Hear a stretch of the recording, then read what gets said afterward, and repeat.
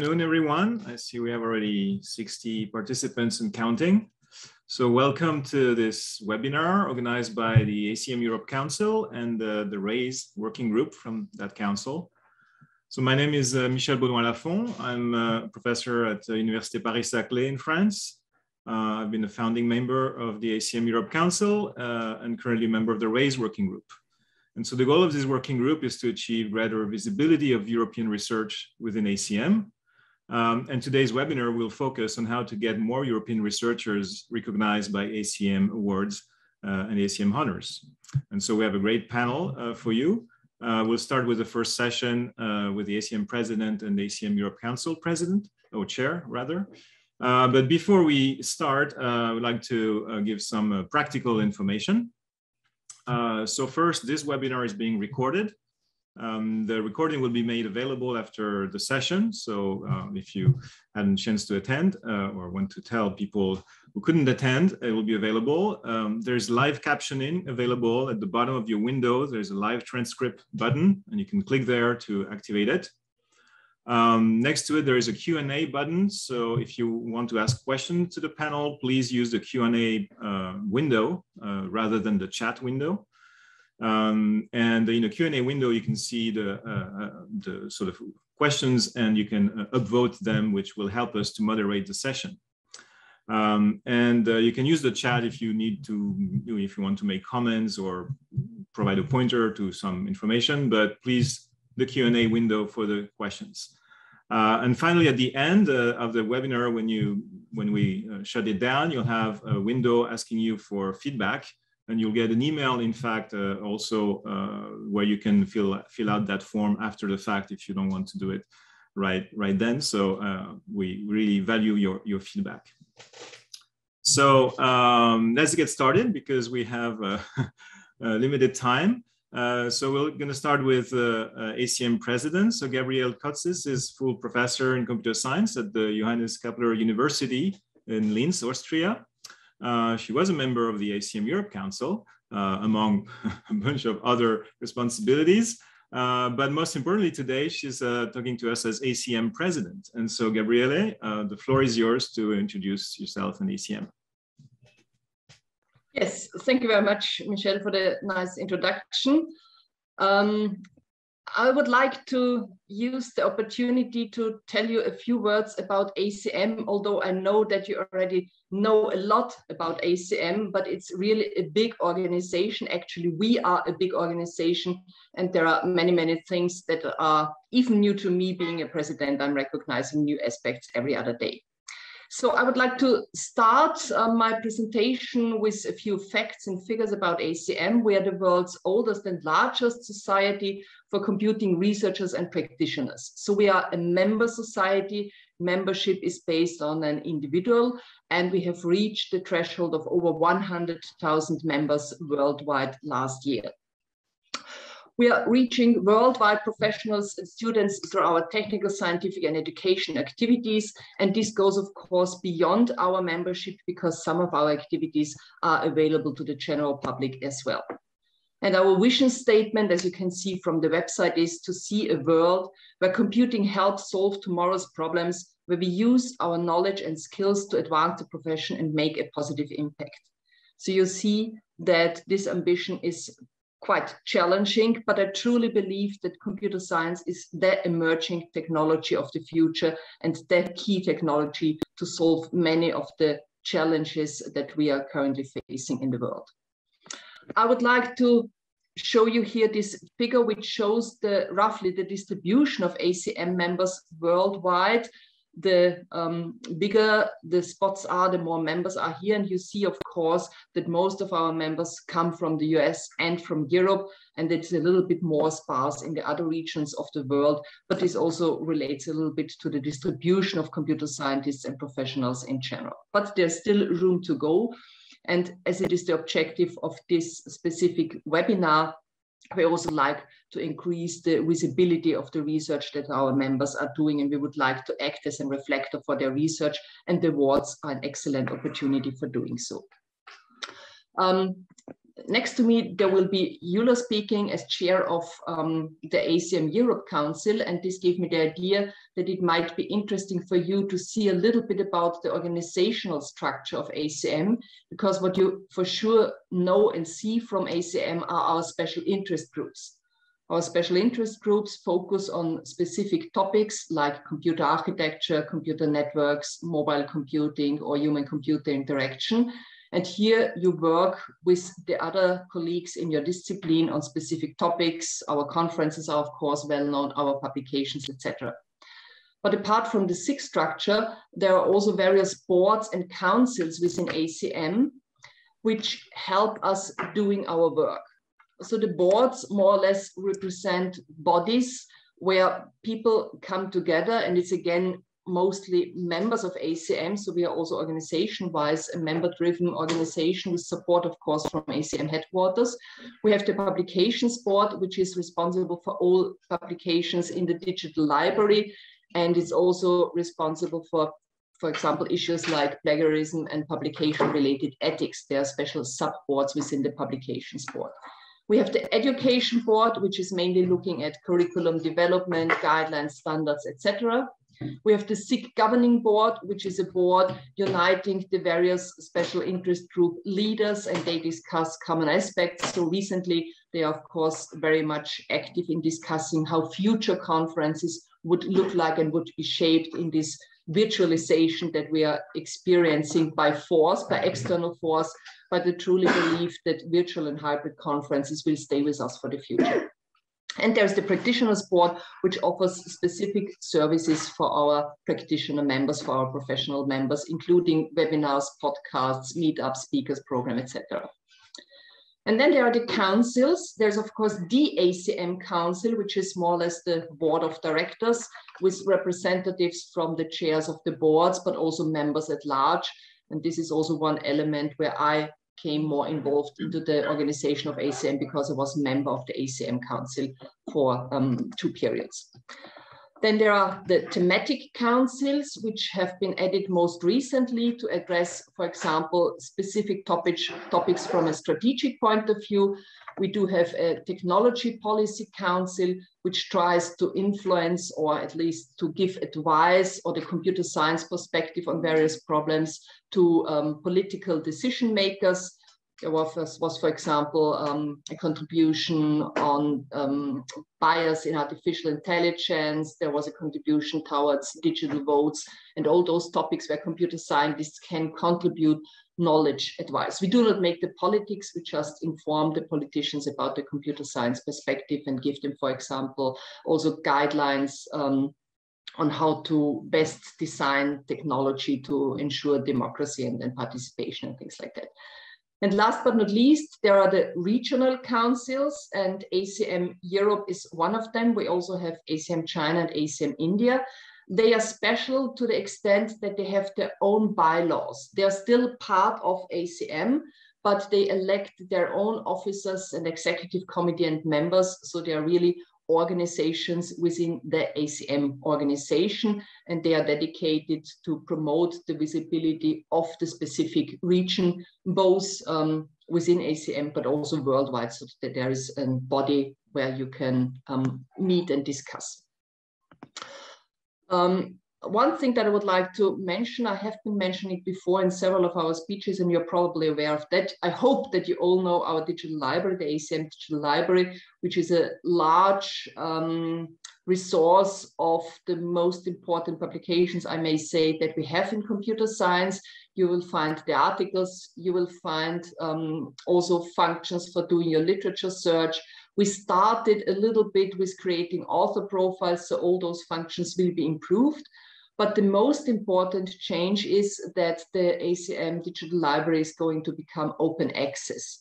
This was a decision made at the ACM Council a couple of years ago with the ambitious goal of making it open access in five years. So there are only a few years to go until we have reached that. And um, it will be, of course, an, an, important step because I truly believe that our research results, our research output must be visible also to the general public and should be as broadly accessible as possible. But of course, there are a lot of business issues associated with that as well because there are costs in maintaining a digital library and they have to be covered from somewhere. So this is just an announcement that um, you will see changes here as well. Um, I would like to conclude my presentation, my short presentation, with highlighting some of the issues that I also wrote in my statement when I was running for ACM president, because I'm really convinced that computing machinery, we are the Association for Computing Machinery, and computing machinery will shape our future and will contribute towards major goals. Of specific interest is computing machinery fighting the CO2 dilemma. I think this is a very important topic by chance, I would say we are already contributing a lot to that in having, for example, this meeting virtually, which is much more CO2 neutral than if we would have met um, on a physical place. But it's um, also an issue that we have to consider in the long term. And um, I recently was um, talking with the, um, I think it was the German president of, of Informatics, GI, and he was saying that he's frequently asked, whether computer science promotes or actually causes more troubles in the CO2 dilemma, because of course computing also requires power and resources, and we really must consider this as an important topic and address this. Um, another important topic is computing machinery fertilizing medical research and healthcare. When I wrote this statement, this was in the pre-COVID area, but we have seen the significant um, achievements that can be made if our forces are put together. And also here, computing machinery can contribute a lot, can help a lot. Um, on the one hand, because it's a tool that can be used in the analysis itself, but also in the other hand, and this relates again to the previous topic of having the digital library open, it helps in disseminating the knowledge very quickly. And I think it was really contributing to this joint effort that we came up so quickly with all those um, vaccination possibilities against COVID. And last but not least, computing machinery protecting democracy. With all this digitalization and virtualization, we must not forget that there are many people who do not have adequate access to um, computing machinery, to computer and information technology, and we must make sure that um, we still can protect democracy in that respect. So with that, I would like to conclude my short presentation about ACM. And yeah, I think that's it for the moment, for the start. Thank you. Okay, thank you, Gabriele. Um, so I'm now going to uh, give the floor to Panagiota Fatourou, who's a professor in computer science at the University of Crete in Greece. And uh, she is uh, currently the chair of the ACM Europe Council, and she'll tell us a bit more about ACM Europe and about this webinar today. Thank you, Michel. Um, I hope you can see my slides. Uh, hello, I would uh, like to, my name is Panagiota Fatourou. I am the chair of the ACM Europe Council, and I would like to warmly welcome you to this webinar, uh, getting recognized by ACM Awards and Honors, which is organized by the Council and more specifically by its newly established ACM Europe Research Visibility Working Group.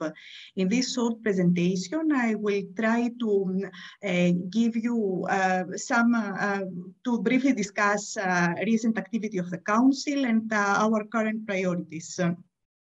The ACM Europe Council aims at promoting dialogue on technology policy issues between the uh, European Commission and other governmental bodies and funding agencies in Europe and the computing community. Uh, this work is done through the ACM Europe Technology Policy Committee, which is one of the committees of the active committees of the Council. Uh, we also aim at fostering computer science education in Europe, work that is done in the context of Informatics for All. Informatics for All is a coalition between the Council, Informatics Europe, and uh, CEPIS. Um, one of our main goals uh, the last few years uh, uh, has been to contribute towards awarding and disseminating the achievements of European computer professionals. in this context, uh, we have established two working groups. The first was established uh, Uh, uh, two years ago it is the ACM Europe Fellows Working Group, uh, which uh, uh, is chaired by Anastasia Ailamaki, and its goal is to increase the number of ACM Fellows and the number of nominations for ACM Fellows and ACM Distinguished Members from Europe. more recently, about six months ago, we have established the ACM Europe Research Visibility Working Group, which is chaired by myself, and I'm going to give you some more information later on, given that this is a working group that organizes this webinar. Uh, the Council aims also at supporting gender equality in the European computing landscape, and there is a, a very serious work that is done in this direction by the ACMW Europe Committee.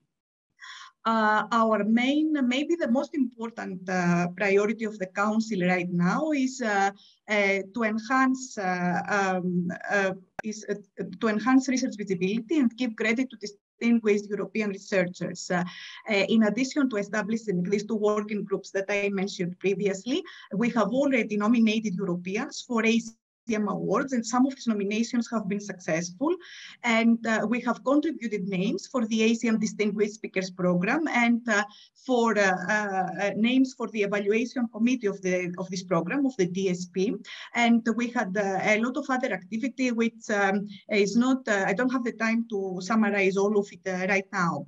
let me mention though that we in 2020 we made a lot of effort to enhance the communication mechanisms through which the council reaches you, reaches the Europeans. And uh, you can see here in the table that um, by simply sending an email to inform you about uh, your eligibility to become a senior member and encouraging you and by encouraging you to uh, self-nominate for this member grade, uh, we had a high impact. Uh, the numbers went up by an order of magnitude. Uh, another priority of the council is uh, to work with the younger generation and try to understand their needs and how to address these needs. Uh, let me now say a few more words about uh, ACM Europe RAISE, which is, as I said, the working group that uh, basically organizes this webinar. we have five goals and five uh, working teams, uh, each one uh, devoted to fulfill the goal. The first goal is to increase visibility of European research excellence. And under this item, we mainly try to do work in the direction of increasing the number of nominations from Europe for, ACM, for the ACM Awards. Our second goal is to promote Europe-centric events uh, with the emphasis being given to um, uh, events for the younger generation. Um, our third goal is to work with the ACM management and collaborate with the SIGs to make Europe more visible to ACM and vice versa. Uh, the fourth goal is uh, to increase awareness about opportunities for recognition of the work of Europeans through the ACM programs and activities, and to promote the participation of, European, of Europeans in these programs and activities. And finally, if it is needed, we would like to create new opportunities for fulfilling these goals. Um, we have uh, 11 uh, names here uh, as members of the ACM Europe RAISE.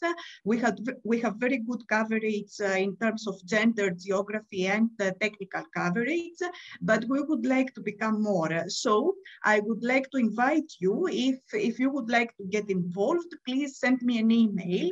And uh, let me also say that um, we would like to know what are the expectations that you have from the Council.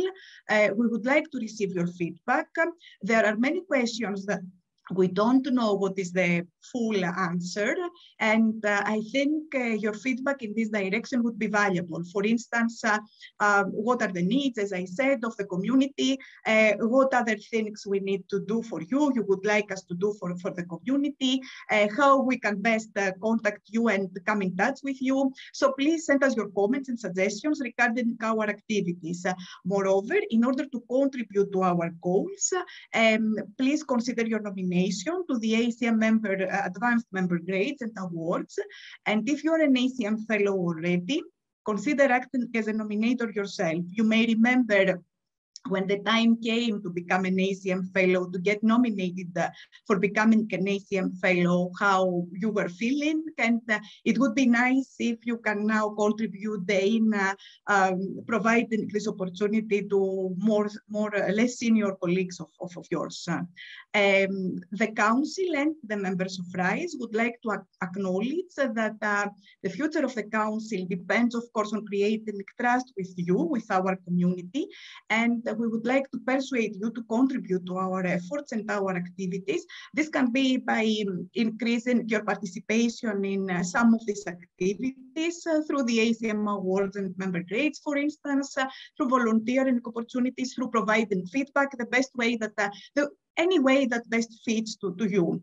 Uh, we are eager to hear your opinion and to engage your ideas in our activities. So your opinion does matter. And uh, we are going to have discussion sections, right, sessions right after, uh, but also we are going to have a Google form at the end of the webinar where you can provide your feedback offline even after the end of the event.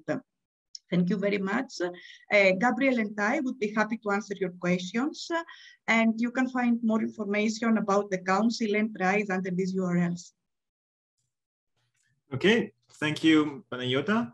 Um, we're going to take um, maybe a minute or two for, for questions. There's no open questions there. There was a question about uh, um, the open access to the to the digital library, but it was answered uh, uh, online, uh, saying that it will be retroactive. Um, um, maybe just a quick question to, to you, Yiota. If uh, people are interested in uh, uh, you know, becoming uh, more active in, in ACM Europe, uh, what's, what's the path?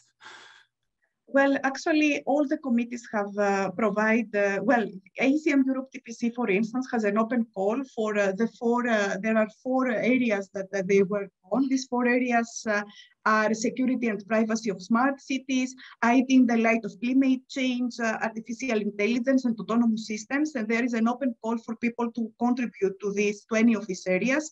So if you are interested, please send a message to the chair of the, of the committee, which is Chris Hankin, but you can find all this information on the website of the, of the council. Uh, the um, ACMW Europe also has uh, open volunteering opportunities. For ACM Europe RAISE, please send a message to me and um, tell me what exactly would uh, you would like to, to contribute. And um, we have we are going to have external collaborators, and we are discussing how we are going to become uh, um, be bigger, the working teams, and you are very welcome to contribute in any of the goals that I described. Uh, in general, um, all of our committees uh, um, are open to collaboration with the community. And uh, if uh, you have ideas or if you want to contribute, please contact the chairs. Okay, thank you. Um, so there's a question about uh, um, uh, different grades, but I think this will be answered in, in what's coming up in the panel. So, uh, well, hold this for, for later. Um, just, uh, I would like to ask a quick question to Gabriele. Um, since you're European, and uh, I, I, think there has been maybe two European presidents of ACM, at least in recent history, are you experiencing a, a culture shock becoming president of a, an organization that is often viewed as uh, um, more American centric or North American centric, or many people think the A in ACM is America, but it's not. so I don't know if you have a few comments on this. Yeah, no, no, it definitely was not a cultural shock. Um, what, what I truly hope is that we will overcome actually those those regional borders because we are all ACM and we all contribute to that, and that's always the spirit that I would like to bring in our meetings. I have to admit that in the past I once have been attending an ACM meeting where statistics have been presented, and it was two columns for the US and for the rest of the world, and I complained a little bit about that. But I would say that this perspective definitely is is outdated. It's it's no longer there. Um, and, and we have to, to act globally. All of us have to act globally because we have to solve global problems. And if we don't unite our forces and don't work together, still, of course, considering cultural differences, there are specifics. We are not all equal, but we serve, we deserve all to have equal rights and being equally treated. I think that's that's the critical point, the, the main challenge here. And this not only relates to computer science, this relates uh, to, to our society in, in general. So um, yeah, I think actually ACM is in a strong position because of this global membership And um, yeah, the, the I, I, also would like to, to mention one specific problem. We do have recently founded the Diversity, Equity and Inclusion Council, which specifically looks at those kind of issues and really tries when, for example, people for committees or boards or councils are nominated to have a true diverse um, setting. The problem is, if you really consider diversity at its core, diversity with respect to gender, with respect to region, and there may be even other aspects, then each committee probably would have need to have 1000 members. So it's not always possible to achieve, of course, full diversity, but um, we, I think we are on, on a good path and yeah, we're making progress. Okay, well, um, thank you, Gabriele. Thank you, uh, Panagiota. Um, we're going to move on to the, uh, well, the core topic of, of today's webinar. Uh, and so I'm going to give the floor to Valérie Issarny, uh, who will introduce uh, herself and, and the panel and then moderate the, the discussion. Uh, so thanks again, Gabriele and Panagiota. And the floor is yours, Valérie. Thank you, Michel. So yeah, I, so I'm Valérie Issarny, Director of Research at INRIA Paris, so in France. Uh, I am also a member of the ACM European Council, and I am a member of the RAISE working group. So it is my pleasure to, you know, to share this uh, session on the member grades and ACM awards. So this is going to be a three steps uh, session. First, we will have a presentation of the member grades and ACM Awards. Then we will have the panel with discussion, which will be moderated by Panagiota. And then we will have a Q&A. So first, before introducing everybody, I would like to thank very much the participant from the US because we know that for some of them, it's very early. So thank you for, for uh, participating and especially the panelists. So uh, the panelists are Jim Larus, uh, who is chair of the ACM Fellows Committee, Roy Levin, who is co-chair of the ACM Awards Committee, John R. White, who is co-chair of the ACM Awards Committee, so with Roy, and Nuria Oliver, who is member of the ACM Fellows Committee, Geraldine Fitzpatrick, who is member of ACM Distinguished Member Committee, and finally Anastasia Ailamaki, sorry, Anastasia, is chair of the ACM European fellows committee, working group, sorry. So as I said, we are going to start with the, the presentation of the uh, ACM fellows and the ACM awards. So first, Jim, thank you for presenting, introducing the ACM member grades, if you can now. So sorry to say that you have three minutes for introducing because we, we are short on time for everything. So Jim, the floor is yours for the presentation of the ACM member grades. Thank you. Okay, so let's start. let's start at the top. So the the top is obviously ACM fellows. Um, I'm not sure if it's written down anywhere, but nominally this is the top one percent of the ACM members. In reality, it's not the top one percent. As Gabriele said, ACM is about 100,000 members, and it's been that way for, for a long time.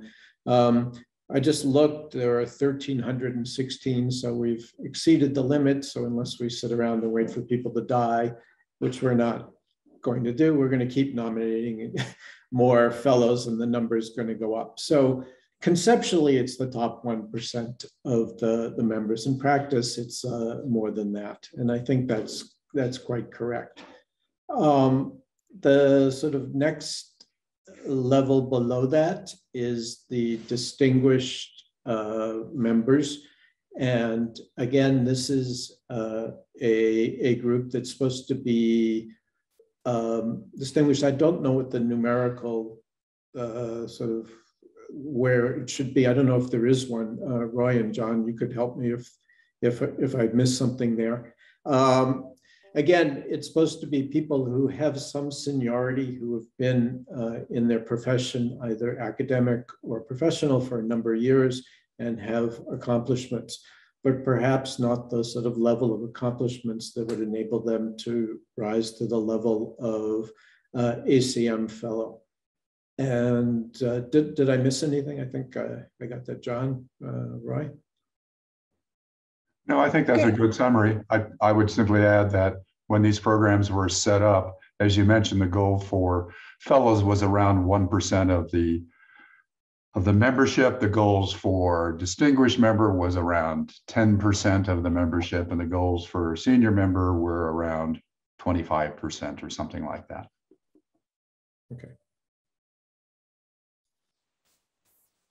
Okay, so Jim, thank you. I believe you introduced everything. So thank you. So now, now I'm going to leave the floor, sorry, to Roy and John so that they uh, give introduction to the ACM Awards, uh, which is the other uh, challenging applications for European in general. So if you could present this in about eight minutes. So thank you. Sure. Um, Hi, John White here, and Roy and I will split the eight minutes. um, I'll say a few words about the origins of the awards program and its scope. And I think Roy will focus a little bit on some of the operational aspects that um, everyone should be aware of. The ACM Awards program is a big deal within ACM, and it goes back to the very first award created by ACM, which was the Turing Award in 1966. Uh, so there's been 55 years of the ACM Awards program. It has three major components. Um, there are ACM level awards, of which there are 20 plus of those. There are SIG level awards or SIG awards, and there are hundreds of those. And then there are the advanced member grades that uh, Jim was just discussing. Officially, advanced member grades are not awards, they are member grades. Um, but they are managed under the uh, awards program because building the committees and running the processes are very much like running award processes. Um, so as I mentioned, there's 20 plus ACM awards. Uh, ACM has 36 SIGs. Each of those SIGs offers somewhere at a minimum two awards. SIGPLAN, on the other hand, has 12 awards. So there are close to um, 150, 180 SIG level awards. And then there are, of course, advanced member grades. So, you know, taken together, we're looking at 200 awards annually from the ACM. Um, the effort to decide these awards involves hundreds of, of volunteers. What Roy and I do is we manage the ACM awards committees and the committees that decide the advanced member grades. And then we oversee what the SIGs are doing. So we have to approve new awards, but uh, the SIGs set up their own committees and run their processes. Um, but like I said, the awards program is big, it's visible. Like when the Turing Award is announced each year, it receives significant worldwide press, which is a great thing for both uh, the award winner or winners. It's a great thing for ACM. Um, and as I said, just in terms of scope, hundreds of awards, hundreds of volunteers on awards committees, uh, and of course, therefore, hundreds and hundreds of nominations uh, across the spectrum that have to be uh, received, sorted, evaluated, and decided. Uh, so how does all of this work, you might ask? And I think Roy can help us understand that a little bit. Thank you, John. Um, in three minutes, I don't think I can tell you how it all works. but let me just give you a couple of numbers that sort of flesh out what John had said. Um, if you look at the uh, committees for ACM awards and you focus on the committees that are completely staffed by uh, ACM members, we have some committees that are joint with other organizations like IEEE. Uh, there are about seven of those. There are approximately 20 that are ACM only. Um, and collectively, these committees comprise about 120 members of ACM. You have to be an ACM member to be on one of these committees. Um, the terms vary, but they tend to be a few years each. So if you uh, do the arithmetic, you see that 30 to 40 committee positions turn over every year. That's a lot of volunteers for us to identify and to bring to the committee. And of course, we aren't just looking for people who are qualified in terms of the technical nature of the awards. We're looking, as Gabriele mentioned, to emphasize diversity across various dimensions. Um, And in particular, the ones that we tend to focus on are gender, geography, and the type of institution that people are from, whether it's academia, industry, government, and so on. Um, just to give you a sense of how that goes, um, once again, you can't get this level of diversity evened out across each of these committees. Some of them only have four people. But if you look in aggregate, we see that um, we're doing pretty well when it comes to um, gender. Uh, we have uh, something like 36% women on these committees. If you look at ACM membership worldwide, uh, it's about 12%. So the, I think we've done pretty well there. Um, if you look at um, geographical representation, um, about half the members of uh, professional members of ACM are in North America, uh, about another 20% or so in Europe, um, and the remainder in Asia and other parts of the world. Um, Europe is represented at about the 23% level on our committee. So again, pretty close to its representation within ACM. Um, academia, if you look along the dimension of institutions, uh, is probably somewhat overrepresented. Uh, we have about equal numbers of professional members um, that come from industry or practitioners, excuse me, industry or academia.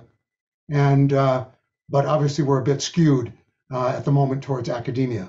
So that's probably something we want to work towards um, in the future, as well as better proportional representation for some of the other regions of the world. Um, the last thing I want to say is that, um, as John said, there are hundreds and hundreds of nominations, but that doesn't mean that every committee is overwhelmed with nominations. Indeed, getting nominations is one of the, the chief problems that as an organization we face. And my point here, and we'll talk about it more later, is that in some sense it's it's everybody's job to do that. The committees try to, to source nominations as well, noting where there might be cases where they want to encourage a nomination, um, which is of course not the same as guaranteeing that the award will be given, um, but also that this is a regional activity as well. And so we're very glad to hear that that ACM Europe is worried about this problem um, of how to get more nominations uh, from Europe, and we want to do whatever we can to help with that. I'll stop there. We'll deal with some more of this later in the session. Okay, thank you very much. So we, we are going to, to go to the panel part of the session. And so let me stress that after the panel, there will be, well, now, sorry, there will be Q&A uh, by Panagiota, but then uh, please participants, feel free to add questions in the Q&A box. Um, I see that you are kind of shy so far, so please, I'm sure you have plenty of questions. So please start asking them. But Panagiota first, uh, go with your questions. Thank you. Thank you, Valérie. So I would like to start by giving, uh, by saying a few words about what is the goal of answering the question, what is the goal of the webinar? The main goal is to inform you, the participants, about the ACM member grades and awards. And we would like to answer questions like how to prepare a successful nomination, how to write a strong endorsement letter, how to, just, to choose your uh, endorsers. Uh, um, but on the other hand, we would also like to give you the chance to communicate directly with the chairs of the ACM awards and member grades committees, and also other members of these committees that are located in Europe. Uh, it is very important for us to receive your feedback. We would like to understand the kind of support you would like to have in order to become more actively involved in this ACM program. So please use the Q&A and also the feedback for Google form that will be provided to you at the end to give us feedback and let us know what exactly you would like to to get from us, what, what you expect from the from the from the RAISE and the council to do. Uh, I am uh, really proud to have uh, um, to, to introduce the panel members to you. Uh, we have uh, the chair of the ACM Fellows Committee, Jim Jim Larus. we have the two co-chairs of the ACM Awards committees, Roy Levin and uh, John White. we have Nuria Oliver, who is a member of ACM Fellows Committee located in Spain. we have uh, a member of the ACM Distinguished Member Committee, Geraldine Fitzpatrick, who, who is located in Austria, and Anastasia Ailamaki, who is the chair of uh, the ACM Europe Fellows Working Group.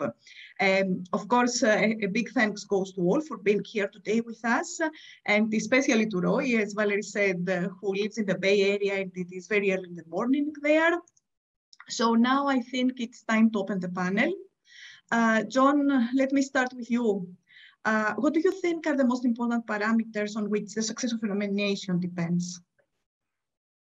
Uh, by far the most success, I mean, the most important parameter is the is the nomination itself. Uh, the nominate, no, there is a nominator.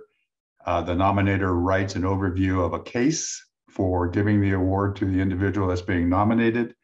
And then the nominator seeks um, endorsements for that nomination.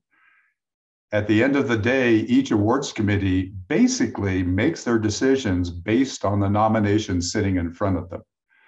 And if there is a weakness in nominations, and I think when what I've seen, there's a little bit more of this coming from Europe than from the US. I might be wrong. But the weakness is um, assuming everyone on the committee already knows the individual being nominated, knows their accomplishments. So if the nominator or the endorsers don't actually spell out what the accomplishment was and is and what the impact has been, and the endorsers verify that, then it's a weak nomination. And even though the individual's accomplishments might be fabulous, unless they're spelled out in the nomination, there's a there's not there's a good chance it will not succeed. I see. Thank you very much. So, Jim, would you like to also contribute to this question? Could you please provide some advice and tips for preparing a successful nomination? Um, first, let me just agree 100% with uh, what John just said. Um, you know, right now we have 153 nominees for fellow, and I'm plowing through them. I read about 20% of them, and you know what you what you see is a lot of really good people who probably are not going to make it because the nomination is not as good as they are. Um, and you know, it's it happens. But let me just sort of uh, explain the way I view the world. And I, I should point out that this is done by a committee. So what I say is my point of view. We argue about this every year uh, in the committee. But you know, there are different types of nominations. So academic nominations are the predominant uh, type of nominations. Um, and there, you know, it's really easy to identify the criteria, which is research impact. You know, the papers that you've published, the impact you've had on your field, the follow-on work, the impact on industry, and so forth. We all know what the formula is. Um, my suggestion is if you're writing a nomination, do not spend a long time listing all of the normal academic service roles, like you are on this program committee, you are the associate editor of this journal. Everybody has it, uh, you know, it just clutters up the nomination and waste space. Um, what you need to do is you need to call out things that are exceptional because we're interested in the top 1%. We're not interested in the normal behavior of academics, which is to do lots of things.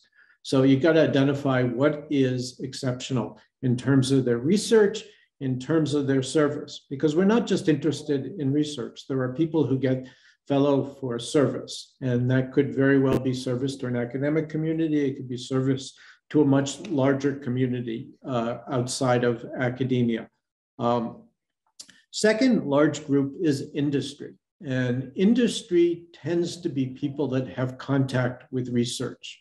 So you can imagine the sort of companies that have sort of research and industry uh, collaborations, because those people are more aware of ACM and more aware of this awards. And so they're in contact with the research community and it's easier to write these awards. They're very different though, because what you may get the award for is not necessarily publications, but it's what you've built and the impact on the industry as a whole. Um, the danger there is that people tend to write very, very company-centric uh, nominations, which are uh, unparsable by the people on the outside. So you've got to be aware of that. Um, and then the third thing is literally service. There are people who don't necessarily have the most distinguished academic career and didn't necessarily write a piece of software or build a system, but have done a tremendous amount for the community. And there can be extremely strong nominations in that group, and every year there are. But you know, in all three of these categories, what I beg of you to do is to tell us on the committee what is important and why it's important, and don't assume that we know it. Right? We have 11 people on the committee. We don't cover all of the areas of computer science. We don't know the people firsthand. Everyone is going to be, every nomination is going to be read by uh, at least three and up to five different people on the committee. So there are not going to be experts reading this. And so you need to tell us what is important. And you need to tell us specifically. You can't just say so and so is a great researcher and has published great papers in the area. That doesn't help, right? You need to tell us why the papers are great and what the impact and the value of the papers are. And if you can do that, you can write a successful nomination. So, could I add one other comment? Um, I think it's when you, in particular with the fellows, there's a distinction between the nomination that is written by the nominator and the endorsements that support that nomination. And I think one of the things that can make a nomination weak is if the endorsers just essentially repeat the nomination. What you want endorsers to do is to verify and attest to the impact that the work that's being nominated has had. They don't have to attest to all of it, but to at least some of it. And then if you have five endorsers, it sort of proves the reality that this work did indeed have impact, which is an important um, criteria for attaining fellow. Um, I will second that. Um, you know, in reading again this year, there have been a number of nominations where I was very skeptical after reading the nomination, but it totally changed my view after reading endorsements from people who genuinely knew the work had followed on the work and could explain the significance of the work. And the nomination typically doesn't go into that depth because it's trying to cover the entire career. And the opportunity is to make the impact much clearer in these letters uh, from people who really know the work. And if they just sort of say the same thing as the nomination, which some of them do, um, it's not very helpful. So John's absolutely right. Thank you. Thank you very much. That was very informative, I think, and uh, especially what you mentioned towards the end is, re is relevant to my next question to Roy, um, who is um, uh, the role of the endorsement letters. We all know that uh, the role of the endorsement letters is very significant. and um, so my question is, uh, how can one prepare a, a, strong endorsement letter? What kind of information should be provided in it? And I think the previous uh, John and, and Jim have already covered partly this question, but do you want to add something, Roy? Yes, I think uh, I think what John and Jim said is is the the chief thing that people need to know um, what I would say is that this really has an implication for how endorsers are chosen, because uh, obviously you want people who can speak to the material in the in the nomination from firsthand knowledge. So the selection of endorsers is obviously important too. You know, getting an endorsement letter from someone who doesn't really know the person being nominated has no value to the committee. Um, so it should be people obviously think about who should be the nominator, but it's equally important to think about who the endorsers should be. Uh, with with respect to the details of the endorsement letter, fortunately, we actually have a document um, on the ACM website that is quite useful in spelling out the kinds of detail that should be in an endorsement letter, in, and in fact in a nomination as well. And I'll mention it here, and perhaps we can send out the, the link to it as well. Um, it's called an informal guide to ACM fellow nominations, but in fact, most of it applies to all member grades involving endorsement and indeed to, to nominations for awards as well. So I would encourage people to look at that. It's got a, a lot of specific do's and, and don'ts. Thank you very much. It is indeed a great document, and it would be great if we uh, forward the link to all the participants. Uh, so Geraldine, may I ask you to contribute to this question as well? Um, yes. So are there ways that the nominees could help in this process or, or not? They shouldn't. So I, I would I would echo everything that's been said, both about a lot of what was said about the um, nominators also applies to the endorsers. And I think that the, the powerful endorsement letters are the ones that tell the stories. You know, like uh, Roy said about not just repeating the CV or repeating what's in the nomin nomination letter. And it doesn't matter even if the person is a fellow, if they do something that's very generic and say, yeah, I, you know, I approve or I agree, it doesn't carry any weight. And so it's more important that it really is someone who can tell specific, concrete stories to illustrate the impact and, and to recognize that their letter complements the nomination letter. And I think that's something that took me a while to personally understand in the process uh, before being on the committee. The other thing that I think is really important within the European context is that we take care, and even perhaps within our uh, sub-SIG areas, is that we take care to contextualize the culture in which we're talking about. So someone just talked about um, saying, you know, like saying uh, why something that was done in industry uh, was relevant, because often if it's too uh, industry centric, you know, or company centric, it doesn't make sense. And I think we shouldn't be assuming that people understand the significance of, say, a national Austrian award or a national Dutch award in computer science. So it's one thing telling us that they've got an award, you know, a national Dutch award or something in something, but tell us how significant that is in that context. Like are 50 given out, or is this one selected from, you know, like a small pool, you know, so help help the reviewers interpret the significance of it the other point I'd make is to be very clear which criteria you are really arguing significance for. Because sometimes in, in people trying to be very general and saying, oh, yeah, they're wonderful, you're not sure what are the two criteria at least that you think they're really, you know, um, arguing that this person meets the criteria on. Thank you very much. I think this clarifies a lot uh, how uh, a successful endorsement letter is going to be written. Thank you all. Uh, Nuria, may I continue with you? Uh, motivating people to act as nominators is not always an easy task. However, we, we often hear from European researchers that, that they feel ready to get nominated, but they don't know exactly how to initiate the process or even what the process should be, what, what exactly they should do to initiate the process. Do you have any piece of advice for them? What should be the involvement of the nominees to the nomination process? And what motivates people to act as nominators?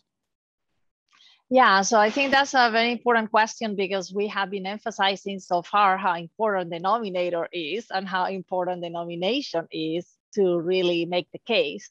So I think the first um, important observation is indeed um, how to choose the nominator. And I think it's evident that it has to be someone that knows the work of the person really well and that really can make um, an informed uh, um, uh, statement about the significance of that work. Uh, as opposed to just listing, you know, as uh, Jim was mentioning, you know, publications or service, you know, activities. I think it has to be someone that that shows us a certain level of depth in the knowledge of the work. So usually it could be um, the PhD advisor, or it could be um, as a more senior colleague that has collaborated very closely with the person, or something like that. Um, it is a somewhat um, involved uh, task because the nominator not only has to write the nomination, uh, but also has to identify the endorsers, which uh, are also very important. So in that process, uh, I, I, would imagine usually nominees uh, suggest um, potential endorsers to the nominator uh, because the nominees know who knows their work really well and, and who could uh, write um, sort of like uh, an assessment of their work that goes beyond, you know, reporting what they have done on paper. Um, at the same time, nominators are usually very busy people because they tend to be uh, recognized successful uh, individuals. So um, sometimes the nominators might ask the nominees to um, help them figure out what they need to do to write the nomination and to be on top of the dates because you know they don't want to miss the deadlines and things like that. So the nominees, uh, um, you know, might have to play a role. Excuse me. Uh, and there was some background noise. Uh, sorry, I don't know if you could hear it. Um, so, um, uh, so I think the nominee definitely might need to send reminders to the nominator about the various deadlines, you know, be on top of making sure that all the endorsers, you know, are um, confirmed. And I think it depends on the nominator, whether the nominator would need additional information or not from the nominee. Um, ideally, the nominator is someone who knows really well the work of the nominee and would be able to write the nomination, you know, by themselves, but that's not always the case. And of course, the, the, before any of this, uh, the question is, how do you get nominated by someone? And uh, there, I think it's important um, that people maybe are relatively proactive. And I think you showed the statistics earlier when you were encouraging people to um, to apply for the awards and how uh, how much of a positive impact that had. So I would like to encourage um, you know scientists or computer scientists who have who consider have had some significant impact to really um, think about um, you know if they if they think they would qualify to, to, to explore options in terms who might be a good nominator for them and maybe have a conversation with the nominator you know as to whether they would be willing to nominate the person. Um, i think there has to be a certain level of uh, proactivity from the nominee in, in i mean in, in many cases uh, because maybe because nominators are very busy people and you know they might not have the time. But it depends a lot on the institution. I think on academic institutions many times um, more senior professors um, um, are already sort of like it's prestigious for an institution to have ACM fellows or ACM distinguished scientists. So there's also an, an active role of the more senior individuals to um, to give visibility to the talent that they have, you know, in their institutions and sort of, sort of like support them. So I think it's a mixture of people reaching out to potential nominators and exploring whether they think they're ready, and then uh, nominators themselves looking into their departments or their their network and seeing, you know, if they can nominate someone. Um, I do think there is a gender difference though in the proactivity. I think um, women tend to be less proactive than men in seeking out uh, nominators. So I think a very important message is to really encourage women to uh, maybe be a little bit more proactive. And, um, and if they think that they, they would qualify to have a conversation with someone that knows their work really well and explore the possibility that they might nominate them. And I think this is important because we need more diversity in the um, awardees. You know, we need more women to be ACM fellows and ACM distinguished scientists. Sure, sure. Thank you very much. Um, yeah, that was really great. So Anastasia, would you like to provide your own view on this question? And also you have been the chair of the ACM Europe Fellows Working Group doing uh, excellent work on uh, increasing the numbers of uh, nominations from Europe for ACM Fellows and uh, distinguished members. So what kind of actions do you think uh, the working groups and the council could do to better motivate people to act as nominators? Uh, and also, for instance, these actions could be to come up with lists of people, of senior people who could act as nominators or come in touch with the departments and try to motivate motivate them to nominate their faculty members, and you may have other suggestions as well. So um, I guess there's some ways to, uh, I guess in a lot of, um, of these questions, uh, Nuria already gave uh, um, the perspective that I was going to give, but um, there are a few more things to say. In my mind, uh, first of all, the group, the way that we work is that um, we are trying to find uh, in direct or indirect or in indirect ways. Uh, we're trying to find um, worthy European or Europe-based um, researchers who should be um, nominated and would qualify as fellows, but uh, they just, you know, for, for one reason or other, they didn't, they haven't been nominated so far. And then we we try to find the right people to nominate them. So it's more of an enabling group um, we take action also when needed. We mediate quite a bit. Uh, we look through lists of people, lists of awardees from important awards, lists uh, of ERC, you know, advanced awards, or, you know, we have a, a broad spectrum of trying to um, make people more aware of um, of this of the of the fellow grade uh, make people more aware of the different member grades because there's also a lot of misconceptions right? Some people for example it, it was brought to my attention that some people thought that distinguished member is a consolation prize for for for fellow which is so not the case right? So we try to clear up these things and also make people aware of acm you know it was unbelievable to me but there were a lot of people who weren't even members uh, of ACM, but could be really nominated as fellows at the time of their career that we were uh, put in contact with them. So um, for as a nominee, I think if um, one decides that they should look into this in, in the nomination for themselves, they should first um, do a little bit of research to see in their area who else has been um, a successful, has had a successful nomination as a fellow, not that there is any way to compare one's lifetime work with somebody else's right? This is this is really not. But just to get a good feeling as to um, what would be the claim to fame right in their nomination like if, if i was nominating myself what would be my first sentence in that nomination as to why I deserve this. And there, it's not a matter of being arrogant or being timid, it's a matter of being realistic because uh, this is a, a, vehicle for for us to learn about each other right? For people to learn from others and about other people's work so that's the first thing so about you know nominating you know thinking about putting um, oneself up for nomination as a nominator um, I think then they can they can ask a nominator. Uh, I think there was a question that I by mistake pushed on answer live, so now I have to answer it.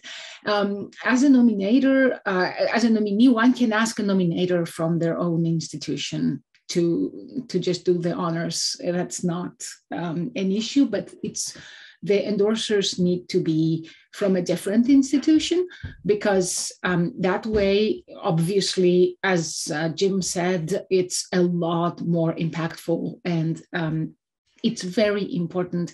And I cannot stress this enough that each endorser gives their own perspective as to why this nomination should go through and why they're putting their time into um, endorsing this nomination. This is the, uh, probably the, one of the most important things said today. And uh, so, um, eh, you know, and then and then um, as for um, there are a number of questions about uh, requirements, formal requirements for eligibility that obviously vary from a grade to another and even vary from one society to another but for that, um, you know, we, I think that uh, we have to work with whatever we have right now. And then the input, I think, of the community is extremely important for people to revise the rules.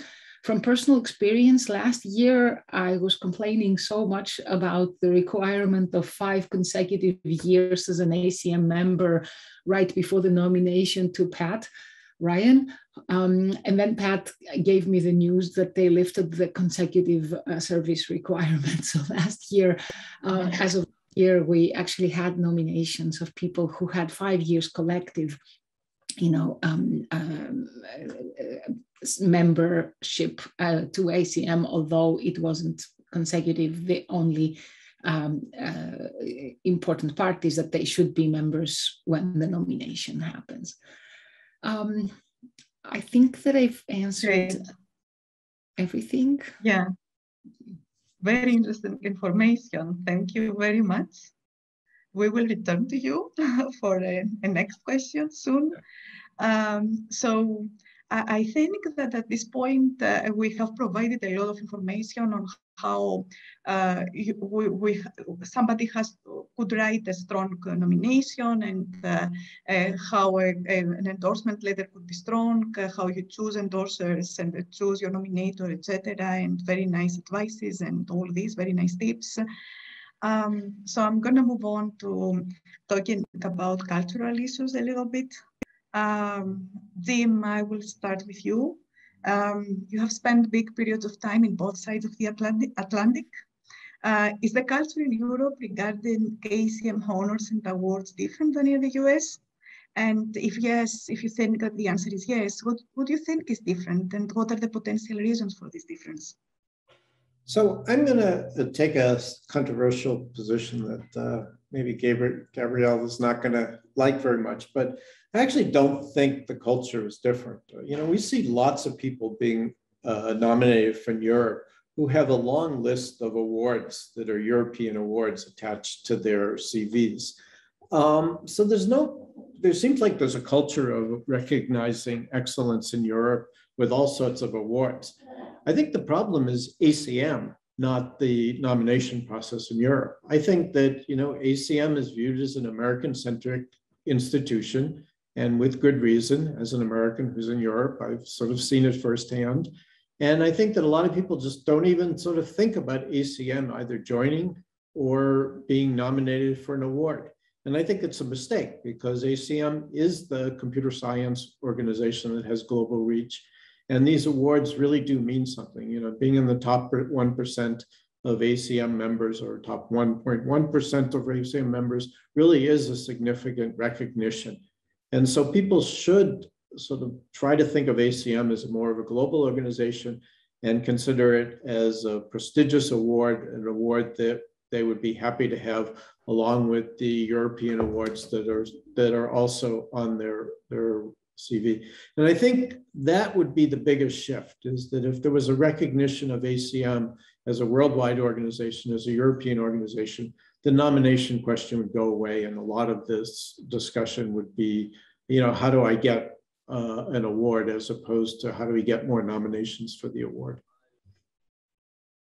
Thank you very much. That's a very interesting uh, positioning uh, because, you know, we often hear from Europeans uh, that uh, they would like to, they are ready for an award, but they don't uh, actually see what is going to be the benefit or whatever, just because, you know, for the promotion, it's not always that, uh, or even the member grades. Uh, that's, yeah, but I don't, I, I, agree with you that it's a shift, uh, the kind of shift that you described.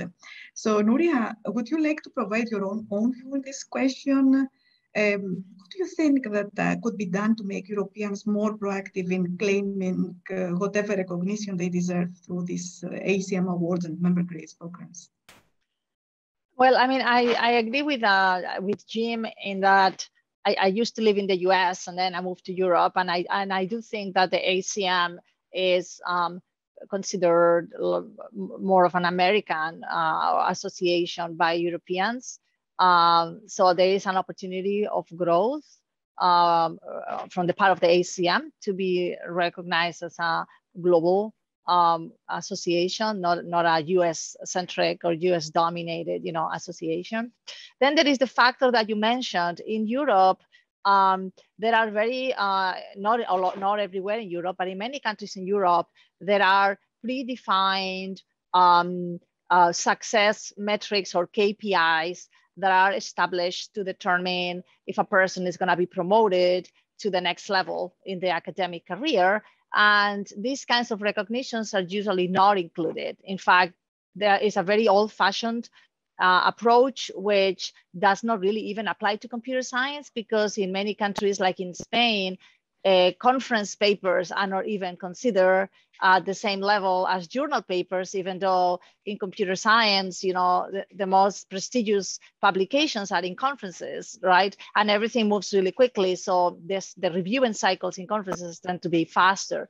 So I think there is also possibly the incentive um, that in many European institutions is kind of irrelevant to, to be an ACM fellow, maybe if they included it as one of the criteria to be promoted for tenure, we probably would get a lot more people applying for um, ACM fellow. So there might be also this element. I think in the US, um, there isn't such rigidity in in uh, in many ways in the the evaluations for tenure. Um, and I think all these kinds of awards and recognitions are taken into consideration. But I mean, I, I do know a little bit about the Spanish system, and it's very rigid. Um, there is just a list of things that they care about, and everything else is not even you. You don't even have a place where to put it in the form, so to say. So it's completely irrelevant. So there might be also this uh, this element, and finally, I mean, I think as we increase the number of uh, ACM fellows and ACM distinguished scientists that are European, I think we will also see uh, more Europeans uh, being nominated and being awarded. Uh, I think there might be also um, a phenomenon of critical mass. And you showed the table earlier when there was a big increase in the number of European um, uh, nominations and also awards, right? So I think if we continue increasing, um, we will see uh, more Europeans being part of these um, distinguished sort of like uh, memberships. Yeah. Thank you very much. Thank you both. Uh, so Roy, let me come back to you. Um, are there specific evaluation criteria? And um, if yes, so what are these evaluation criteria? And uh, are there criteria on which European researchers fail more often and they have to be more careful? For instance, uh, um, this may have to do with the endorsement letters or whether the endorsement letters arrive or I don't know, other, other parameters that we cannot imagine and you are aware of. So I would say that the evaluation criteria are pretty well spelled out on a per award basis on the web pages. Um, so I think if, yes, they're necessarily general in some cases, but um, obviously nominations and, and endorsements that speak to those criteria are important to do. Um, I wouldn't say we've collected statistics in a formal way about uh, failure rates or what goes wrong, but we can look at overall numbers and see that uh, nominations succeed at about the same rate from Europe as they do elsewhere in the world. So I don't see any systemic issues there. Um, I think that uh, if there is a if there is an issue, it's the lack of nominations um, that happens, and this is particularly true for if you look at the numbers for distinguished member, which is the middle of the three advanced grades. You know, for senior member, it's a self-nomination process, and you had great uh, success in promoting that a, a year ago uh, and getting the numbers up on that. Um, distinguished member, the bar is a bit higher, and uh, for that you you uh, don't self-nominate. Um, so uh, if we look at the numbers there, we see fewer uh, on a sort of participation rate basis than in the U.S. or, or the world generally.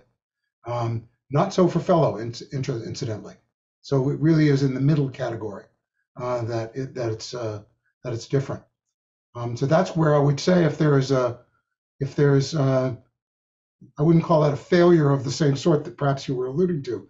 It's simply a failure to submit, um, and that would be a, a great place to invest some effort in in improving things.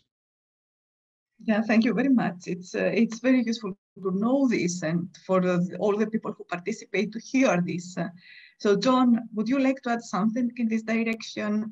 I think we have seen the numbers, uh, you and I and uh, the members of RAISE, uh, and we know that the success rate is more or less similar to that for the US, as Roy just said. And therefore, Europeans, when they try, they do succeed at a rate similar as their US colleagues. Uh, so in, in, in order to, to improve the participation rate, do you have any advice uh, on, on this, how to to how to improve the participation rate, uh, or do you have anything to add? Just feel free. I think um, a lot of the important points have been covered uh, in multiple dimensions.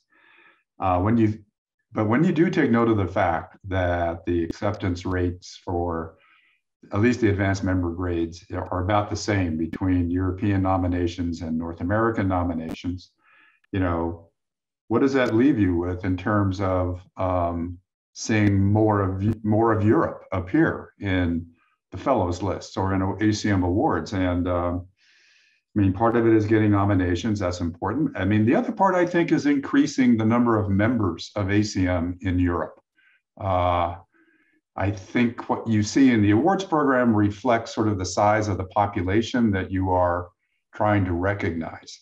And so I believe the more members we have in Europe, uh, that knock on effect will be more advanced member grades and more recognition with ACM awards.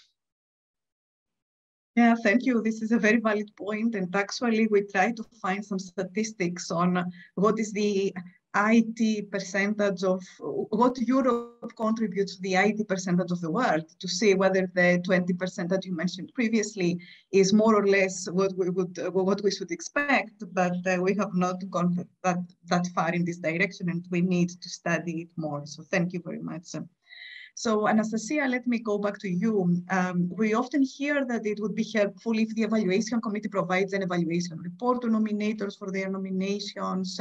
We also hear that some statistics per country or providing nicknames per country uh, might also, and some indicators could also be useful for researchers to reach decisions on whether they are ready to be nominated or not and for which uh, level, member grade, for which member grade.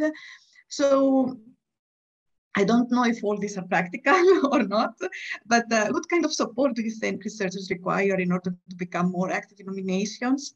And what do you think uh, could be doable and practical to accomplish?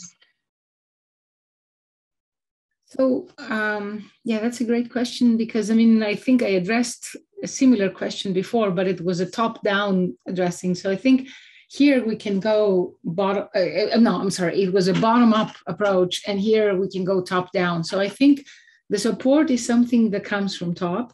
Uh, uh as it is as was mentioned before i forget where the, that um, universities organizations really are um, should be or are or should be anyway looking to in, increase the number of um, people in their groups with higher uh, member grades that have high, hold higher member grades and uh, especially fellows um, at ACM. Uh, and this actually is a point for um, to, to go after. Um, it's very important that uh, we educate uh, all about all this information that was said today even i uh, who and i have been reading and working on it just to put together the group and and make our work impactful. And still even i was actually educated today by some things that were said that just didn't click when i read them i guess um, or some information from people's experience. So it's very important that we educate uh, deans or presidents of universities or deans or provosts or whoever is responsible that that this is how this is done. And it's actually uh, a great thing to start initiatives from within the organization to to find people who could be nominated and find the appropriate nominators. As i said before this can be from the same organization. So it's not really a problem. Um, again, I think the biggest issue, especially in Europe, is that people do not know or understand uh, what ACM is. And that is a, for me, coming, I mean, I'm a European, but I was, uh, I grew up academically in the United States uh, for most of uh, my time as a computer scientist. And it was a huge surprise to me when I came across the fact that you know people were not even not even not only weren't they acm members but were like yeah i've heard of that acm not sure you know what it is. So um it's important that i mean i don't know how this can be done to be honest. Um maybe it's important that uh, this kind of events happen uh, for a school or or for for a few departments in uh, in Europe or for kind of a targeted thing like an information session uh, for people who really could be helped and supported so as to make this process easier for them because everybody's day has 24 hours and everybody has a day job right? Um, so this this should be a top down process i think Thank you very much. Yeah, that's very helpful. Geraldine, would you like to contribute to this question? So what kind of support do you think uh, uh, researchers need? Uh, and also, uh, are there, um, what is the differentiation between distinguished members and fellows? And there are some similar questions in the chat, I think. is there a clear litmus test that shows the difference?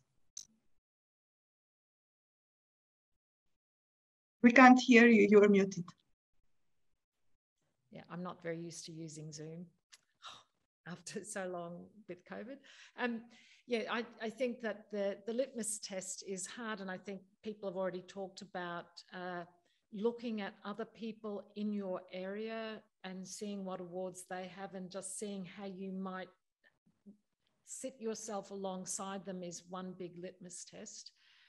And uh, the awards, you know, someone asked about can you, you know, can you apply for fellow if you've got a senior or a DM? And yes, you can. You know, like it's it's it's not like you get one level and that's it. You've exhausted all your chances. So if you look at the criteria and the wording of the awards, um, they do reflect, I guess, increasing levels of I don't know, not not just a, a significance and impact of the work. And and that most often comes with sort of age and career path. So you would expect younger researchers to apply for senior fellows um, you know maybe middle career depending you know for dm and you know and i'm not some more senior people uh, or people who really had a significant field changing impact for fellows. So you can, if you're happy, you know, there's no strict progression. You can apply for DM without being a senior member. You can just apply, be nominated for, a, I mean, you can be nominated for DM without being senior member and so on. I think for the, the issue about what can encourage people, i we've also, people have also mentioned things about uh, top down and apart from the leadership of our organizations proactively, you know, like maybe emailing out to heads of departments and saying who in your faculty can you, you know, see fitting these criteria and uh, ways of encouraging them to seek out nominators. Um, I think it would also be good to specifically target existing award holders to return this, you know, like the circle of kindness, the, the academic favors, or whatever, and it's not favors, but other people did it for them and, you know, take their turn in doing it for, you know, other colleagues. Um, I think we need a lot of them to be more proactive. But as Anastasia said, every, you know, every, well, Nuria, everyone is really busy. So I, I know it's challenging, but I think, uh, and keeping an eye out for each other, especially women. You know, we've said women are less likely to uh, think of themselves as being ready for nomination at any level. And so, you know, saying to each other, look, you know, have you ever thought about doing this and really encouraging that and, and planting the seed, which is what your uh, initiative did a couple of years ago with the senior member. You know, people hadn't thought about it thought about it, but we don't have to rely on ACM Europe to do that. We can do that in our own circles, in our own professional circles, in our own faculties. Among the positive aspects, if I may, that one can emphasize in such a reach out uh, effort is that, I mean, there is, of course, the institutional you know visibility side and and all that good stuff that comes with these distinctions and with having people that have these distinctions in the organization and having a large number of them.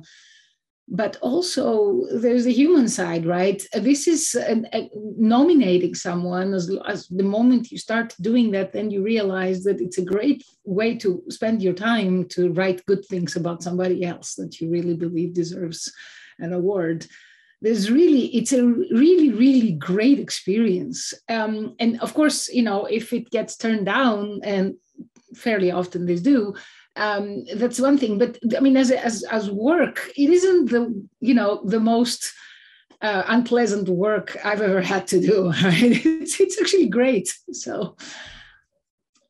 Thank you very much all. Uh, we have uh, just a few minutes to go so i, I will now move on to um, uh, go through some of the questions. I gave more time to this uh, part of, of, the, of the panel because I saw that uh, you were answering questions as you were going. So we already have eight answered questions from what you have said. But uh, let me go first to the questions and then I will give you one minute to sum up. So I'm going to move this summing up session later on.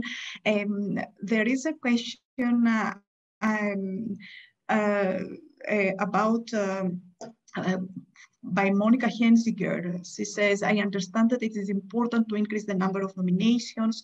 I have served on ACM award committees and I find it is, it is also a problem that the work of non-American computer scientists is not as well known in the US as is the work of Americans. The committees, however, are usually dominated by Americans. Thus, it is hard for the few non-American committee members as they are in the minority to convince the rest of the committee.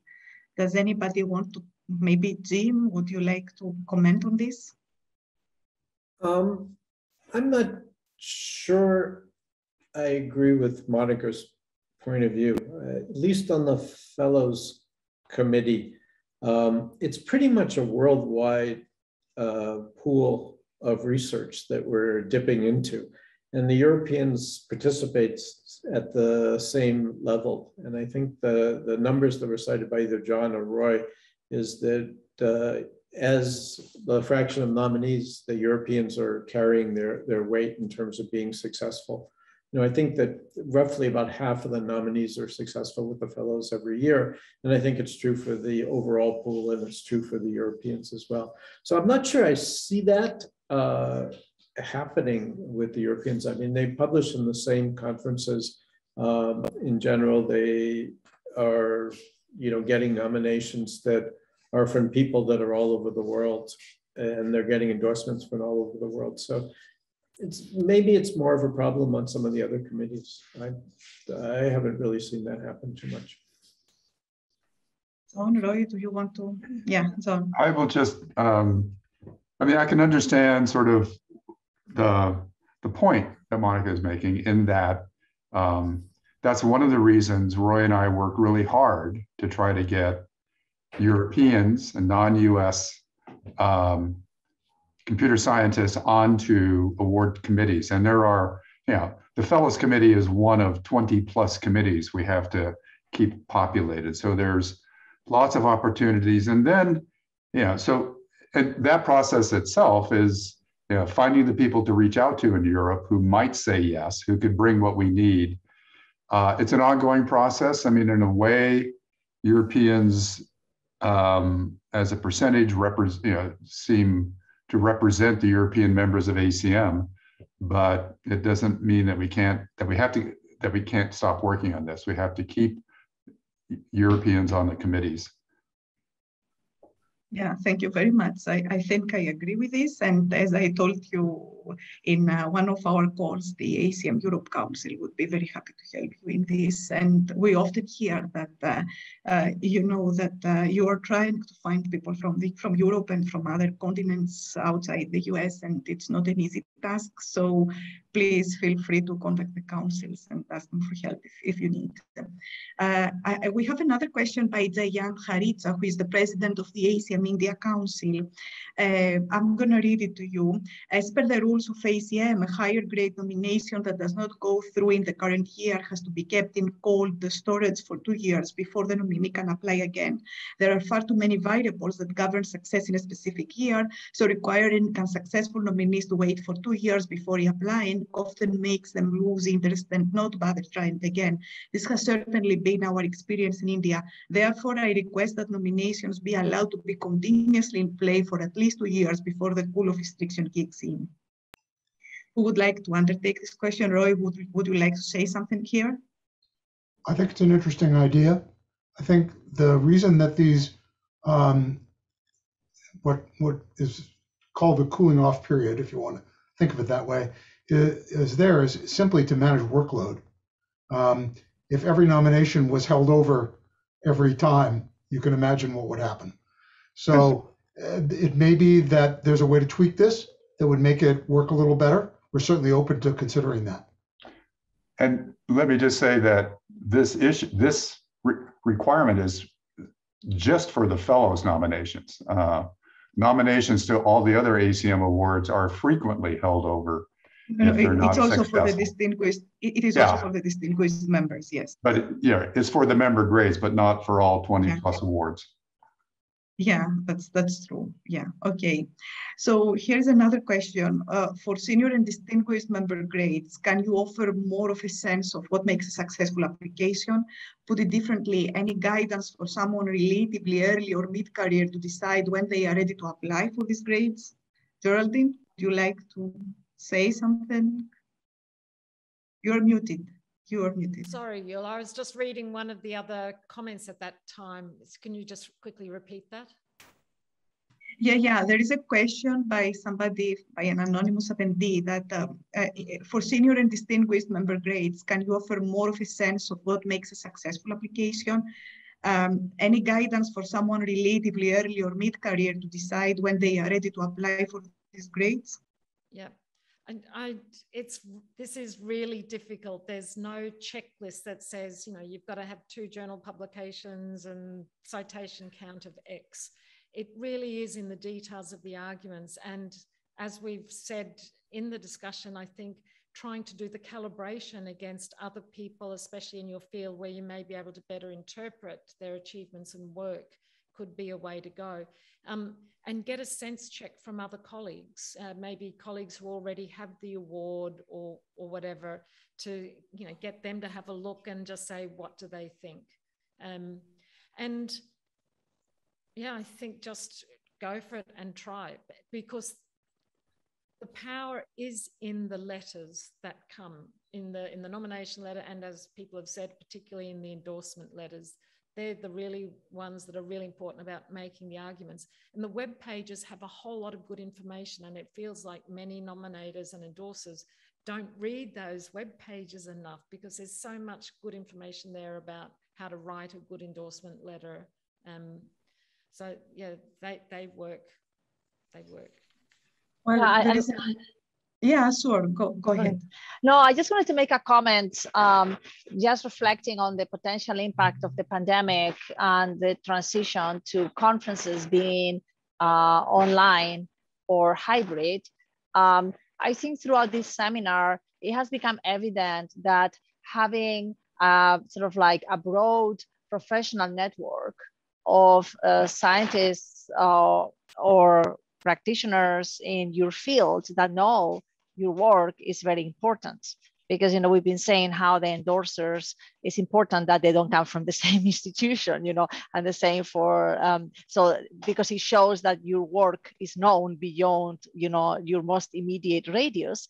And a lot of the visibility is achieved through going to conferences and giving talks and talking to people you know in the coffee breaks and things like that. So i wonder if we if what are your thoughts on um, the impact that this uh, hybrid or virtual format might have on um, on sort of like establishing those networks, particularly for researchers that are early on on their careers and they are missing this opportunity to be able to you know meet and chat and and discuss and and and, and find you know sort of like potential collaborations with people beyond their institutions Mm-hmm. Yeah, that's an interesting point, I think.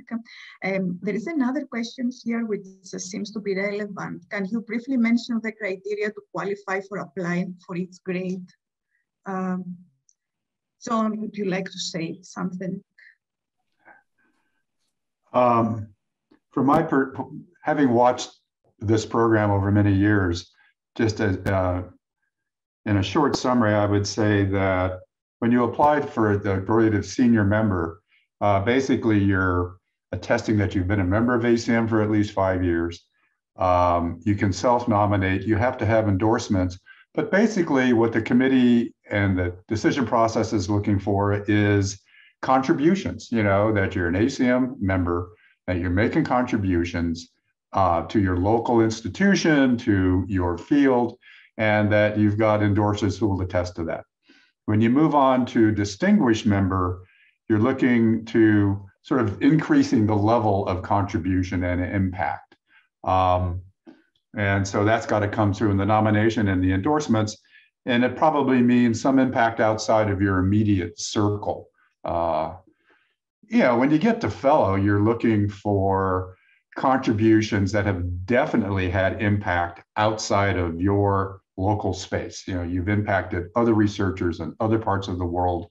Um, and it's sort of, from my point of view, the simplest first cut is the sphere of impact you've had grows, if that helps.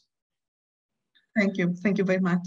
So there is another question, actually two questions that are in the same direction. The condition of five years of professional ACM membership seems enough to get nominated. Why not reduce it to two years? And there is somebody else who complains about. So he says that he has joined recently. He is an IEEE fellow. He has uh, done work for the IEEE, and now he has joined. Uh, he has joined the ACM to find out that he has to wait for five years in order to apply for becoming an ACM fellow. So uh, I know, Anastasia, you have done a lot of work in this direction. Would you like to comment? Uh, but what is the dimension of the of what dimension? What question do I comment on? So, do you think that uh, we could further reduce this to two years? Are there reasons not to do so? Uh, that's something. That's something that has to do with uh, about five levels higher than I am. I mean, I'm totally uh, the work that I'm doing uh, has to do with uh, um, you know pinpointing, helping to to to to discover, to unearth, if you will, unappreciated value uh, or underappreciated value in the eyes of ACM, right? Because nobody brought uh, that value to their attention in Europe, and and uh, hoping to do that and putting all my energy there now. Um, as to the requirements, as I said, I've buzzed people's ears every now and then about the five years consecutive uh, requirement for fellows. That was a huge problem. And uh, uh, I mean, that got relaxed quite significantly um, to qualify for more people to qualify. Now, I, I, I think I'm ill equipped to judge as to whether more relaxing the, the rules further is uh, definitely if that happened we would enlarge the pool of nominees. So that would be good. Uh, but acm is a large organization. There are dimensions uh, of it that um, um, are not within my scope of, of activity and the reasons for these rules adhere more to those dimensions. So i would rather leave this question from someone who's more knowledgeable at that level Wim, would you like to comment? Or John or someone? Uh, I'll let John. I mean, um, you know, my, my okay. years is, is, is, is, reasonable. What's what's the big deal the, to wait five years? So the um, five years comes from when the Fellows Program was launched, which is the oldest of the member grade programs that was launched in uh, 1993. And at the time, number one, it was a member grade recognition. You had to be a member. And so there was the expectation that you just don't show up and become a fellow. You have to have been a member of the ACM for five continuous years. And then, as was recently pointed out last year or the year before, we relaxed that to be five years of membership over the previous 10, I think it is. So there could be breaks in that. When distinguished member and senior member came along, again, since they were member grades, the membership requirement came with them. You know, it's just part of the nature of the, the recognition. I mean, over the years, you know, we would have Turing Award winners uh, who weren't even ACM members, would become ACM members, and somebody would say, well, why don't we make them a fellow? And the answer was, well, yeah, we'll make them a fellow after they've been a member five years. So if you look at Alan Kay, for example, became a fellow five years after he received the Turing Award. Um, so it really is a member grade versus a technical recognition. Sure. So all these people should try the awards instead uh, at first, and then you know, after five years, they can also. It is true though that, uh, you know, this reduces the pool of people who can, who can be nominated. And this is a problem that um, Anastasia has experienced in her working group a lot.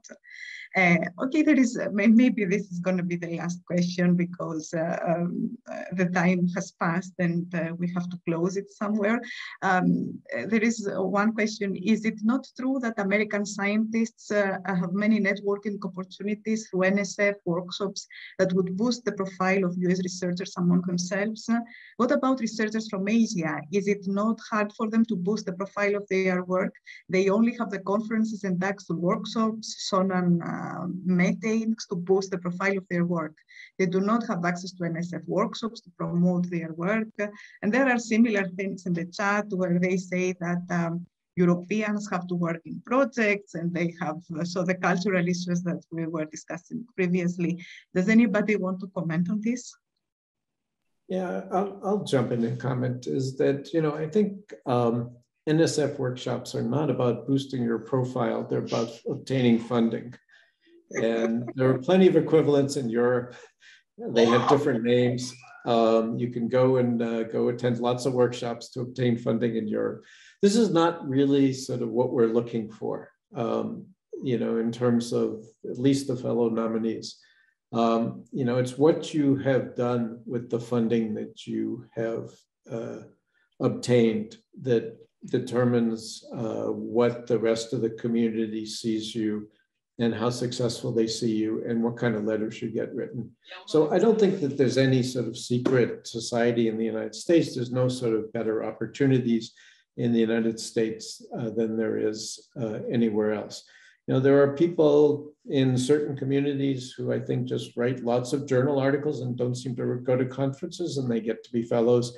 There are other communities where people go to conferences and don't write journal articles and they get to be fellows. There are people in industry who get to be fellows with sort of no journal articles and no conference articles because of the strength of their impact. So really what it is, is what do you do with the resources that you have available? And you know, what impact does your uh, efforts have uh, on the computer community, computer science community, the tech community at large, and what can you uh, sort of bring to the table and get people to say about it. So, you know, I don't think people should focus in like we do it differently in this country than we do it in this other country because you can be successful with lots of starting points. So maybe just to to complement this, it's about impact. All of these grades or, or awards, it's all about impact. So if a candidate believes they should be a nominee because they've they have they have impact, then they should talk to someone uh, who knows about their impact, who that works maybe close to them or not uh, in some capacity, and explain. And uh, usually you don't really have to explain that much. And then that other person finds you know goes around and looks for people who know are the recipients of that impact. People who followed on the work people who have been benefited in one way or another from the uh, results of the work of the of the nominee. And that's that that's the group that's the nomination group. In the end it's not really rocket science and i also don't believe that there is a segregation there or a matter. Even i'm going to go out of the limit and say it's not even a matter of opportunities or uh, or social connections or whatnot. This is just a sheer impact question. So Geraldine, we, we are out of time, but we are gonna continue informally for maybe five minutes more just to uh, have the time for everybody to, yeah, Nuria, thank you very sorry, much. I'm and, sorry, uh, I'm already running late. Uh, sorry about it's this. Okay. Uh, it's thank okay. You thank you very much for your participation. Yeah, thank also, you. Thank you so much. Very much. Thank, you. thank you very ciao. much. Yeah. Ciao, ciao. Bye, everyone. Have a good weekend. Um, bye. I just wanted to reinforce connecting to a couple of the other questions. Do you mind to speak a little bit closer to your mic? Yeah, we. I just seem to have a concert starting in the square outside. Um, I, just to uh, questions around the, uh, you know, like not knowing ACM fellows or DMs or whatever to endorse you. And what I'd want to um, reinforce is the impact story and that an, an, enthusiastic letter from someone who really knows your work and can attest to it is much stronger than a, a lukewarm letter that's generic from someone who can put ACM fellow after their name. And the, if you look at the webpage and the, and the recommendations, it only says it's preferable, it's not required. So not necessarily having strong connections with lots of fellows doesn't mean you can't get good letters. It's the content um, that, that matters. And the, the, the COVID impact as well, I just wanted to comment on, because I think we also have to recognize that um, you know, the, the impacts of COVID have been very mixed for people. For some people, it has resulted in uh, less networking. For other people, it's opened up new opportunities because they don't normally uh, have travel open to them. And here they are now able to attend conferences that they couldn't access before. So I'm, I'm also wondering whether in future years we're going to need COVID impact statements attached to uh, promotion cases and nomination cases, again, that help interpret and contextualize people's situations. Thank you. Okay, so um, there is one last question. There are a lot of questions that can be answered easily offline, so we can just store them and process them later on and submit some feedback to the to the participants. But uh, what about this one? Could you please, um, could it be possible to get some additional clarification about how the impact is analyzed for private sector nominations, which would not based on publications and conferences, even though the practitioner career would be focused on innovation projects? This is in the chat. So um, Roy, would you like to say something? Or John, Jim? I guess this is a question I'll, for the chairs. I'll take a crack at it. Um, having been in industry, um, maybe I can offer a little view on this. Um, you know, impact within a within a company uh, certainly can be reported upon, and usually in a way that uh, doesn't run into confidentiality issues or things like that. Um, so it's real. I'm really, in a sense, repeating what's been said before. Yes, the metric is going to be different than it would be for uh, someone in, in academia. Um, you don't have the external mechanisms of uh, of that sort, but somebody knowledgeable with, within a company, or ideally even from another company. If your impact extends beyond a company, you can get a recommendation from someone or an endorsement from somebody else, obviously that says something. Um, so I think that that again, it's if I repeat a little bit what John said, it has to do with the the breadth of your circle. Look at the size of the circle, look at where your impact has been, and look for people who can attest to that impact within your company or outside your company, um, and and uh, try to try to get that as to be as as uh, specifically stated as possible. Thank you. Does anybody else want to add something? You know, I would say that it's very helpful for these nominees to get some of the letters from academics who are familiar with their work so that uh, it's not just people with inside their company. I mean, those, those nominations are extremely difficult to evaluate. The work may be extremely significant, but the impact is sometimes extremely unclear and the details are very obscure because of the jar jargon, the awards that go with a particular company, the sort of technical details aren't written down. Um, so if there's somebody external, particularly somebody in academia who can sort of calibrate this against other companies and against academic research, it's very helpful for us to understand the significance of it. Um, uh, the, the, the most difficult ones are clearly the ones that come from within inside a company and you know the details of the work are proprietary and we vaguely know about the product but we don't necessarily know about anybody's contributions to the product. And you know you know have some pity on the committee and and try to make our life a little easier by helping us uh, evaluate what the impact is in that case. You know, but having said that, we have done this, right? You know, one that comes to mind was uh, a person um, who worked at a government agency where literally the details of their exact contributions were classified. And so there literally had to be letters from people who were well known, who had the appropriate classifications, attesting to their work being significant without actually being able to tell us what their work was. And there had to be enough of them and they had to be convincing enough that we actually believed it. And so, you know, it can happen uh, even in sort of the most difficult circumstances, but it's unusual. Thank you. I think this is uh, really helpful for the people to know. Uh, I think we are um, reaching the end and I'm going to give you uh, just one minute to the four of you who are still here to summarize and probably provide some final tips and advice if you want. So Jim, would you like to go first? Yeah, I mean, you know, the simplest thing is if you want these uh, awards, uh, you know, apply for them. You're not going to get them. We're not going to go seek you out and uh, give you the award unless you apply for it. So, you know, with the self nomination, it seems very easy uh, to do it. With the other ones, you basically need to find somebody who will take the lead on it. And the person who does it needs to follow best practices. It's very clear, you know, ACM has done a very good job of putting up material on the website that explain exactly what we're looking for make our life easy and you'll be much more successful. The, the, the, nominations where it's hard for us to understand what the significance is or where people sort of depend on like numbers, you know, so-and-so published this many hundreds of things, and it has an H index of such and such.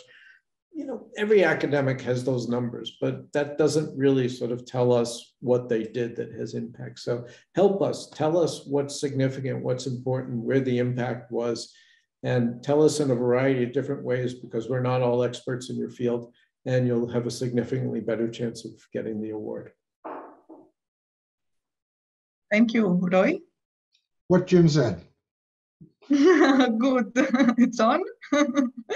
um, yeah, what Jim said, but I will also add think about that in the context of all of the ACM awards, whether it's from doctoral dissertation through the Turing Award.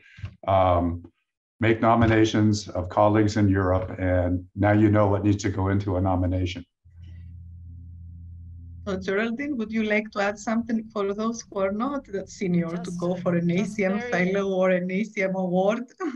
but I, I, just want to pick up on Catherine Flick's uh, question there about social ethical impacts or interdisciplinary things. Oh yes, that was an important and, one. You are right. This is all part of making the argument. So pick, tick whatever you think the most, you know, the, the best fit is, even if it's not perfect, and just use the text to make the argument because it's an evolving organization. And I think the ACM and computing science more generally is reflected in Gabriele's um, comments at the beginning, is accepting more and more that we're more than just technology from this very narrow uh, technology centric point of view. So, you know, it's possible to make arguments that it's a contribution to computer science through these sorts of impacts. Uh, let me let me just say systems may be slow to change, but we can. Let me just say this is absolutely true for the fellows. We are perfectly happy with having people come in and say, you know, this is an application of technology that's significant that has sort of benefits. Um, you know, the things that you check actually aren't even visible to the committee. They don't appear on the, the forums that the committee sees. I get a spreadsheet with a huge number of ticks listed next to everybody, which I use to try to assign uh, people to read the letters, but it isn't actually that useful. So um, don't worry about it. if there's not an appropriate tick, submit the application anyways. Thank you. Thank you all four of you. Just let me say a few words. This is just the closing. Uh, um, uh, we will collect the questions that have not been answered, work on them and send you additional information to answer them uh, offline after the, the end of the webinar. I think those that have not been answered yet uh, are kind of uh, um, questions that we can easily answer offline. Uh, we have uh, set up a Google form for you, and uh, you are going to receive the link uh, once this uh, this this webinar is over, and you can you will also be directed to um, to, to, to, to the to the form through your browser once the once you leave the, the webinar, and uh, before we finish, I would like to thank uh, some people who have participated to, to the, to, to, I want to, to, to, thank to, to thank all those who have contributed to make this uh, webinar uh, happen. Uh, Gabriele Kotsis, the ACM president first, uh, the, the six panel members, thank you very much for being here and for all these wonderful discussions and all this information that you have provided. I would like to acknowledge the support of uh, the members of RAISE. Uh, we discuss a lot and uh, I, they helped me a lot to figure out what, the, what are the right uh, uh, directions to go. Uh, a huge thanks goes to Yan Timanovsky from the ACM headquarters for installing all the infrastructure that we use today and to Pat Ryan from, again, the ACM headquarters.